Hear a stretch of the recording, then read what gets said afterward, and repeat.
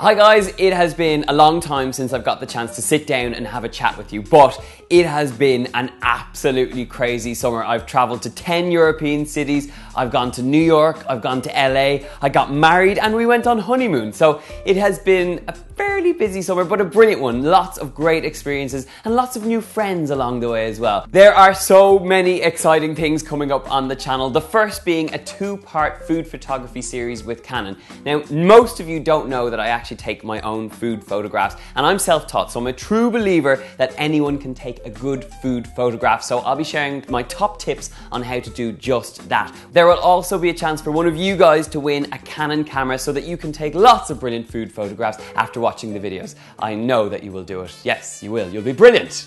Over the last four weeks, I've been traveling across five European countries and I've been vlogging the whole experience. So there will be a series of vlogs coming up to let you know what I got up to, all those brilliant experiences, all those brilliant people I met, and lots and lots and lots of food. We are also ridiculously close to over a quarter of a million subscribers 250,000 subscribers. I cannot quite believe it, but thank you so much for subscribing. If you haven't clicked that subscribe button to celebrate this milestone on the YouTube channel, I'm going to be doing another Q&A. So if I haven't answered your questions in previous Q&As, now is your time to get thinking. Leave me your best comment in the box below. Make it exciting, make it interesting, make it funny. I'll be reading them all, I'll be choosing my favorites, and then I'll be answering them in an extra special quarter of a million subscribers Q&A video. As this little food community continues to grow, I want to hear so much more from you. I want to see your recipe requests. I want to see the images you take of the food that you make after watching my recipes. And of course, I want to hear from you about what you want to see on this channel. So make sure to leave me a comment in the box below.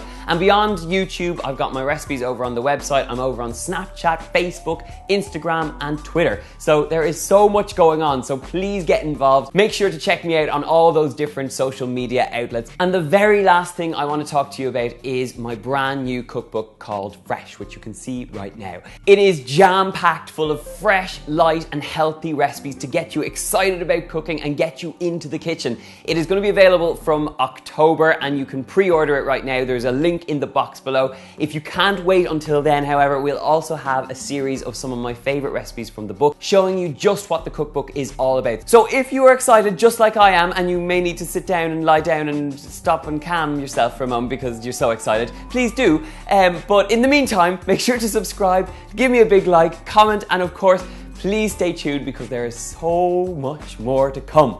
See you soon, guys. Bye.